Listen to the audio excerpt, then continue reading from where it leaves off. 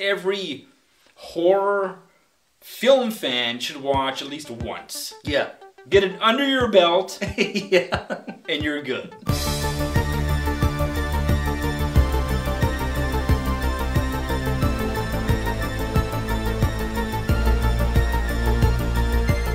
Hello and welcome to another episode of Frightfully Forgotten Horror Movies. But before we get started, what are we drinking? Today we are drinking some local brews. Yep. I am drinking Dastardly Villains uh, Infernal Fusion Machine Black Ale. That's What? a, that's a mouthful. What does that even mean? Infernal fusion? What the fuck is a fusion machine? What are you getting fused with? The fly? Brundle fly when you're done drinking this beer. You all slowly, you're all melting and everything. All these, your ear all falls off. Today we're gonna bring to you 1976's Blood Sucking Freaks, and this was a Patreon request by Rob Robinson. This movie was directed by Joel M. Reed, and he did Night of the Zombies, just to mention one movie. That's about all. That's it, yeah. Blood Sucking Freaks starts off with a bunch of people in the audience. Not too many people in the audience, mind you, like Yeah. a handful of people in some weird theater watching Sardu's Theater of the Macabre, and it's like a S&M type performance where you're mm-hmm. watching basically people get tortured and stuff. But the people in the audience think it's just a show. It's all illusion. It's, it's magic, basically. Sardu comes on, and then, you know, his woman is all naked, comes on. Of course. They start doing all the sick stuff, like putting your finger in a vice and turning it, and You hear the sounds. everyone's and all, all clapping, thinking it's a big show. They put this weird mechanism on another woman's head and start like tightening it. And start ratchet. Grand finale, they bring this other naked woman out and they strap her hand to like this table. Little guy with like a afro comes Yeah, in and that Peter Dinklage, Bob Ross. hybrid guy Yeah. comes in and starts sawing this woman's hand off. At the end of the show, you know, all the critics are leaving and donation for the actors. The actors are not paid. yeah, damn right you don't get paid. yeah, fuck. So he runs his one critic's leaving, and the critic basically tells him, I'm never gonna review this show, but it's awful, it's garbage. Another couple comes through, it's a guy and his nice looking girlfriend who's like a ballerina, and they're- kind of like the show. Like, ah, I kind of like what you're doing here, you know? Yeah. Oh, really? Backstage behind Sardu's Theater of the Macabre, and you realize that it isn't theater, it's Yeah. not an illusion. This is all real. He's got this cage of women in his dungeon that he's like keeping there all naked and throwing this meat to them. yeah, And it's raw meat. he's all having dinner with, on, on some naked woman's back and everything. and she's got this candle that's spilling all this wax on her back. Don't ruin my dinner.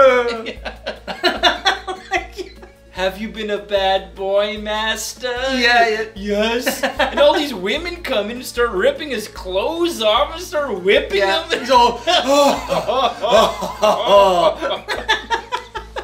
so he's pretty pissed off that this critic won't review the show, so he tells that little guy, Bob Ross. the little little Bob Ross, go get this guy, go kidnap him. Take him down to the dungeon and string him up. yeah, start, start giving him the boots, literally. what the hell is going on? Thrown into this weird fucking world. Yeah. Turns out that Sardu is getting paid millions of dollars to kidnap women and traffic them to other countries, right? Because this guy, who's in Alice Sweet Alice, that shitty landlord guy, Sardou also gets the idea to kidnap that ballerina who came with her boyfriend to watch the show in the beginning.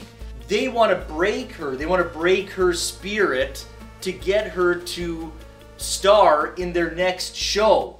And the way they're gonna do that is by torturing other people to make her uncomfortable and break her. One of the things that they do, they're like, bring in the doctor. And so they have this woman tied to this chair, And this doctor basically, he's like, he's all fucked up too. He's like, I live with my mother. And all this is like, he's all making them all sick already. Like, he starts pulling out all the woman's teeth, drilling into the top of her head, and he puts a straw down and starts drinking her fucking brains. Like, Holy crazy. fuck!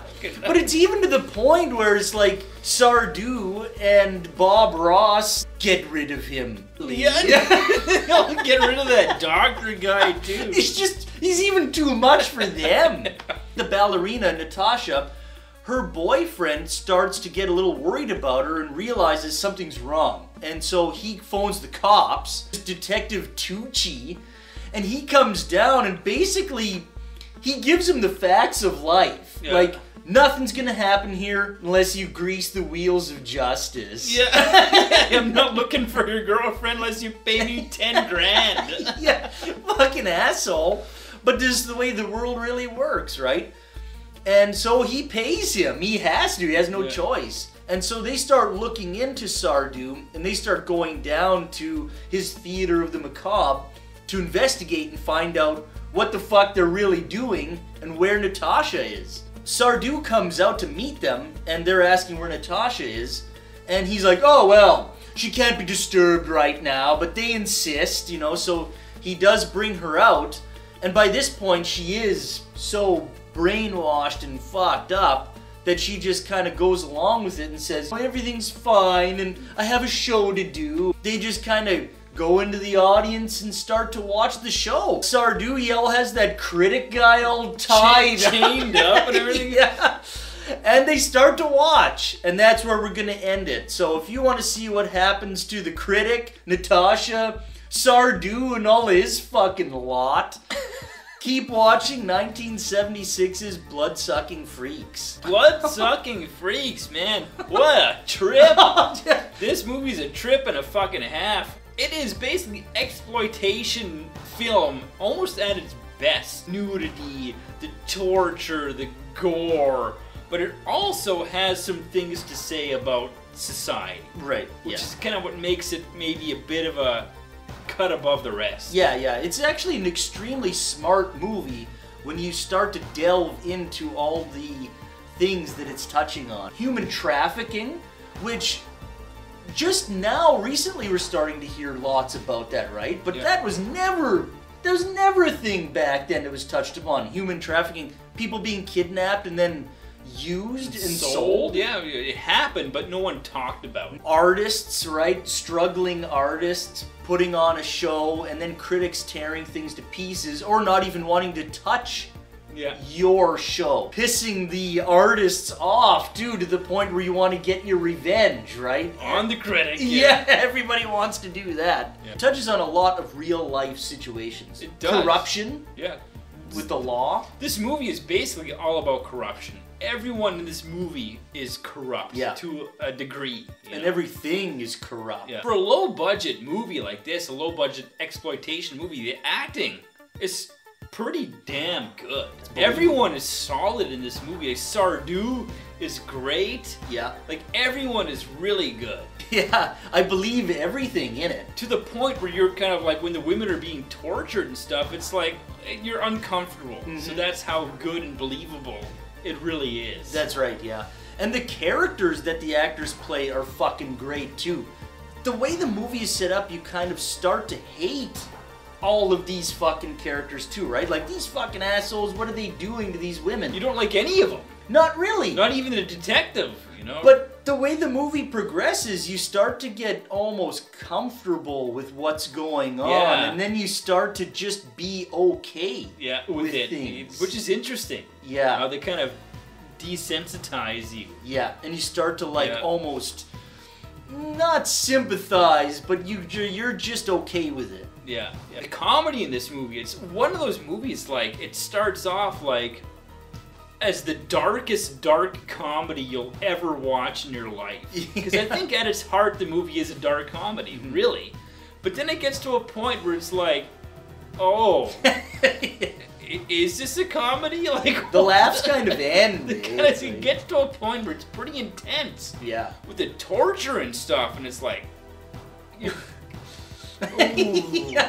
The doctor scene did it for me. Like that guy was fucked. Even on their level, Yeah. that guy was screwed up. And that's where I started to kind of it's like it's no longer fun Funny, anymore. yeah. Yeah, or funny, Yeah. you know. And The scene that got me it was the scene where they put the woman in the guillotine and they make her hold the rope for the blade in her Yeah. teeth, and they start caning her bare ass, yeah.